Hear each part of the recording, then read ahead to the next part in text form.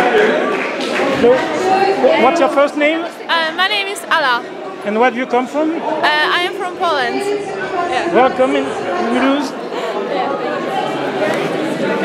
What's your first name? Uh, my name is Tanya. Uh, I'm from Poland.